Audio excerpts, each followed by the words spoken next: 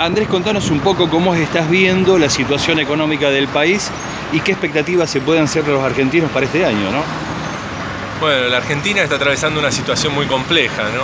Podemos decir que en economía siempre se dice que uno puede elegir entre mayor actividad económica y creación de empleo a costa de presión sobre los precios e inflación, o por lo contrario, sacrificar actividad económica y empleo, pero para bajar un poquito la inflación.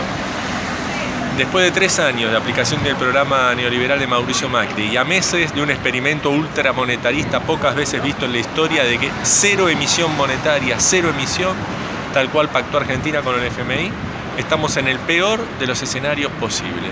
La actividad económica se está desplomando, las caídas en la industria y en la construcción superan el 15%, hasta los servicios caen más de un 6% el empleo se degrada, se pierden puestos de trabajo, se generan empleos de peor calidad, el salario pierde frente a la inflación, la jubilación y la asignación lo mismo, las empresas venden cada vez menos, los comercios venden cada vez menos, la inversión se desploma, más de un 30% cayeron los bienes de capital en el último mes, las importaciones de bienes de capital, y en paralelo la inflación, lejos de bajar, se acelera. La inflación de enero fue 2,9 cuando en diciembre había sido 2,6 y la proyección del CESO y otras consultoras dan similar. Para febrero es del 3,4%. Es decir, caída de la actividad económica con una inflación en ascenso.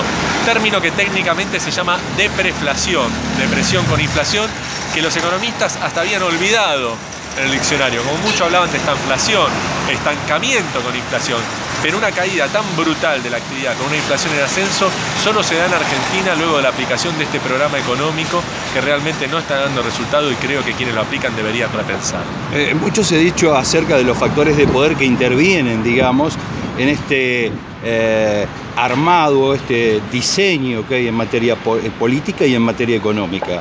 Ah, hay quienes terminan perjudicados y por lo, por, lo pronto con los tarifazos son las panaderías. Se especula también que muchas veces determinados amigos del gobierno quieren quedarse con otras empresas, pero ¿quién se quiere quedar con una panadería? ¿O les importa poco realmente? No, claramente la política económica hoy en día casi no, podemos decir que no la hace ni siquiera ningún grupo dominante local.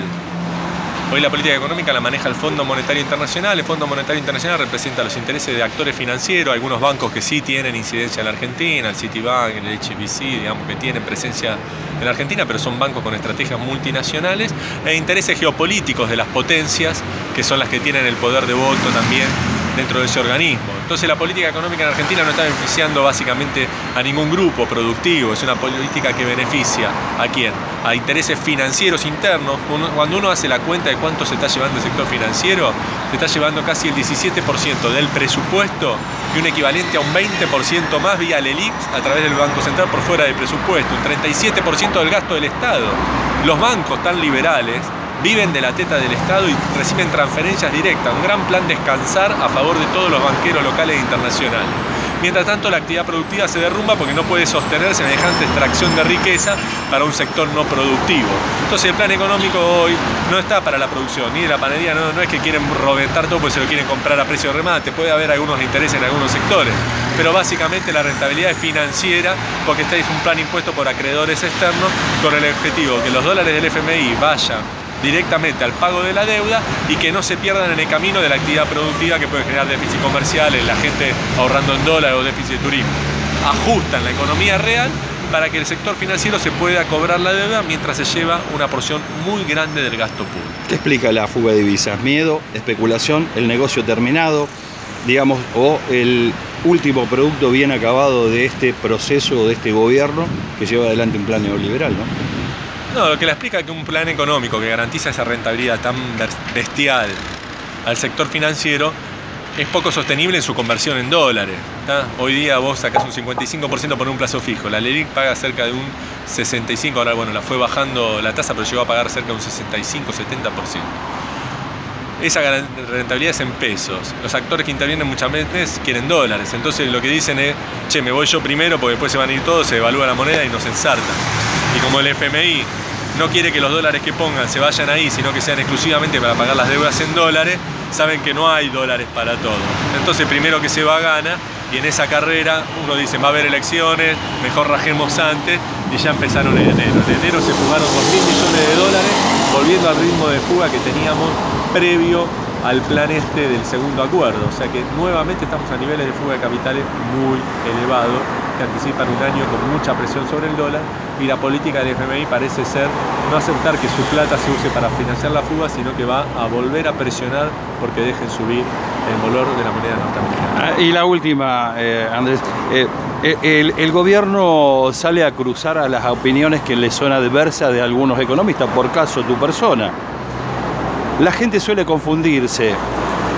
Se, le, se, se puede decir de que esto que estamos viviendo en Argentina se confunde porque no puede comparar, porque no vive en otro país. ¿Esto que pasa en Argentina pasa en otros países del mundo?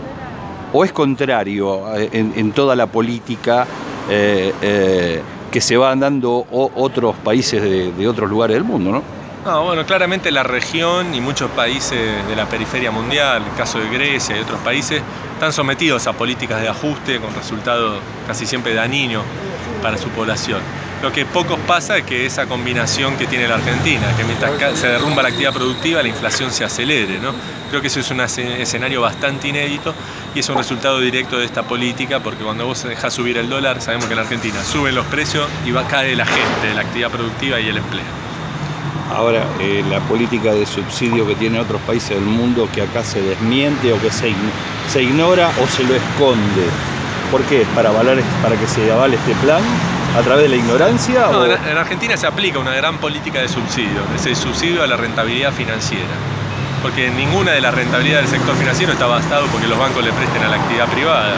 No es que un banco está ganando rentabilidad porque está financiando una inversión, una compra de una vivienda y a partir de eso obtiene una rentabilidad. Están viviendo de la teta del Estado a través de un subsidio. Se llama LELIC, se sabe más cobrar los pagos de la deuda.